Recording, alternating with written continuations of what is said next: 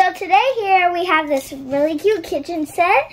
It comes with all kinds of things. Comes with pots and all that kitchen stuff. If you have a kitchen, you could use it. Like pretend you're always like, like you're always cooking. It's really fun and cute. You, it comes with all different stuff, fish and all that stuff. I like how every single ingredient comes apart, like this one.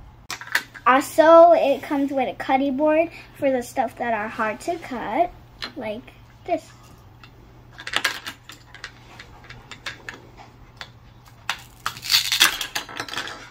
Today I'm gonna cook some fish stew.